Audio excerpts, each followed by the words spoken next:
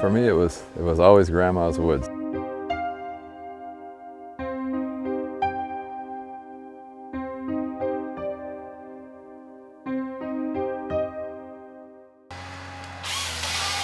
Your picture when you're up here is nice mature forest, so picture that in your head.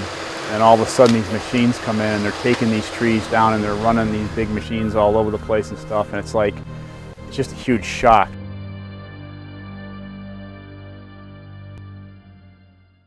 Oh my gosh, I, at first I was really worried, you know.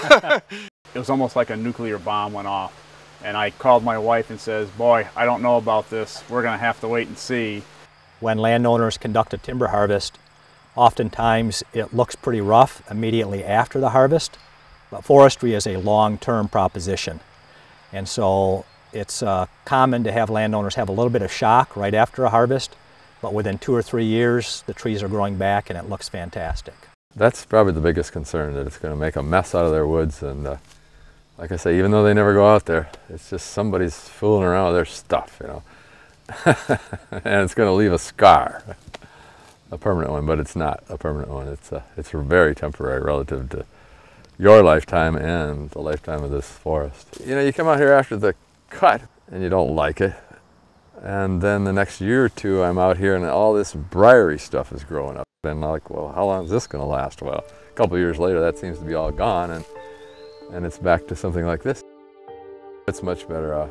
I mean, I'm a little bit better off with the cash, but the woods is much better off. It's growing, it's maturing. These trees are growing uh, at a faster rate. Uh, they're nicer trees. Um, you know, I thought it was such a nice park-like place to start with, and, and I say it's back to what it used to be, but it's back to being better. It's back to something even nicer.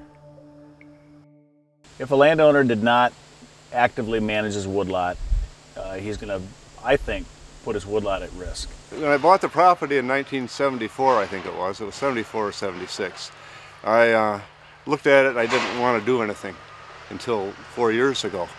And, but it looked the same four years ago than it looked when I bought it. And nothing was happening, you know, it wasn't growing and just kind of a junk crop for a lot of it. Yeah. So anyway, so I wish that I would have started this forestry earlier. So now we got a sustainable forest going here. And uh, I'm really pleased. In Michigan, we have natural regeneration. In fact, the Great Lakes, most of the eastern United States. If you do a selective thinning, the hardwood trees will reseed themselves and will resprout and regenerate themselves. We call it natural regeneration. Or if you do an aspen clear cut, they will naturally regrow from the roots of the harvested trees. So we don't have to replant trees, they grow back on their own in Michigan. And our trees produce products that everybody uses. So to just come in here and not do any cutting or anything like that, well, we, that wasn't, that, wasn't, uh, that wasn't an option for us. We're not deforesting by cutting trees. We're growing more than we're harvesting. And by cutting the trees, we're having a healthier forest.